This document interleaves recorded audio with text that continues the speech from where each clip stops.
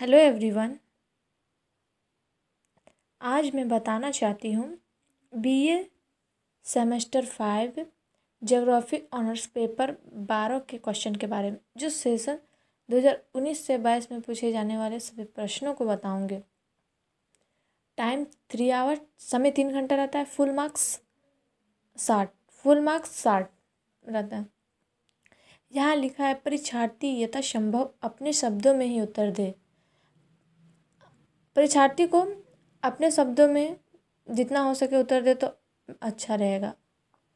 सभी प्रश्नों के मान बराबर है। सभी प्रश्न का मान एक समान है। उसके बाद यहाँ लिखा है, किन्हीं चार प्रश्नों के उत्तर दें, जिसमें प्रश्न संख्या एक अनिवार्य है। यानी कि प्रश्न संख्या एक बनाना है, ज़रूरी है। अब यहाँ देखेंगे, एक नंबर क्वेश्चन पूछा है, निम्नलिखित का सही उत्तर लिखिए। ए में पूछा है, आर्थिक भूगोल के तीन उपागमों का नाम लिखे। बी नंबर क्वेश्चन में पूछा है, आर्थिक भूगोल भूतल पर संपत्ति का उत्पादन, विनिमय और उपभोग से संबंधित मानवीय क्रियाकलाप की क्षेत्रीय विभिन्नताओं का अध्ययन है। किसने परिभाषित किया? है आर्थिक भूगोल पर संपत्ति का उत्पादन, विनिमय और उपभोग से संबंधित मानवीय क्रियाकलाप की क्षेत्रीय विभिन्नता का अध्ययन किसने परिभाषित किया? उसका नाम लिखना है। सी नंबर क्वेश्चन पूछा है यह किसका कथन है संसाधन होते नहीं बनते हैं? किसका कथन है संसाधन होते नहीं बनते हैं? उसका नाम लिखना डी नंबर क्वेश्चन पूछा है, विश्व के किस क्षेत्र में अत्यधिक पेट्रोलियम खनिज केंद्रित है? विश्व के किस क्षेत्र में अत्यधिक पेट्रोलियम खनिज केंद्रित है? उसका नाम, उस जगह का नाम लिखना है। ई नंबर क्वेश्चन पूछा है, भारत के कपास क्षेत्र का नाम लिखे। भारत के कपास क्षेत्र का नाम लिखना है। एफ़ नंबर क्वेश्चन पूछा है, झारखंड राज्य के बॉक्साइट खनन क्षेत्र का नाम लिखें। झारखंड राज्य के बॉक्साइट खनन क्षेत्र का नाम लिखना है। जी नंबर क्वेश्चन पूछा है। वेवर के औद्योगिक अवस्थापना सिद्धांत का नाम लिखें। वेवर के औद्योगिक अवस्थापना सिद्धांत का नाम लिखना है। एच नंबर क्वेश्चन पूछा है। विश्व के दो बृहद अंतर महाद्वीपीय रेलमार्ग का नाम लिखें। दो बृहद अंतर्द्वीपीय रेलमार्ग का नाम लिखना है।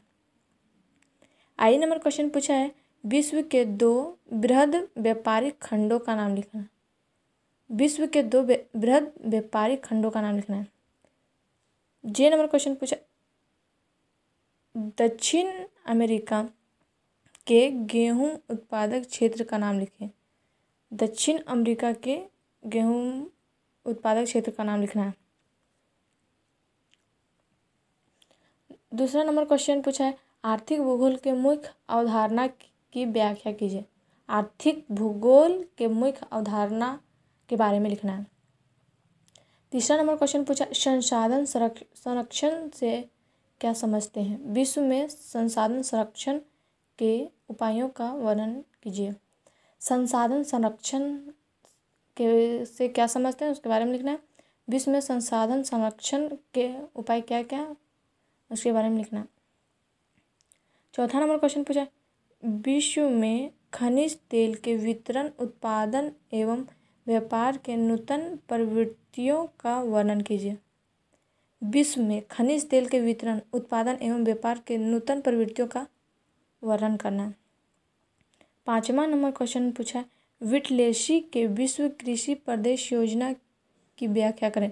विटलेसी के विश्व कृषि प्रदेश योजना के बारे में लिखना है। छठा नंबर क्वेश्चन पूछा, वेबर के औद्योगिक अवस्थापना सिद्धांत का परीक्षण कीजिए।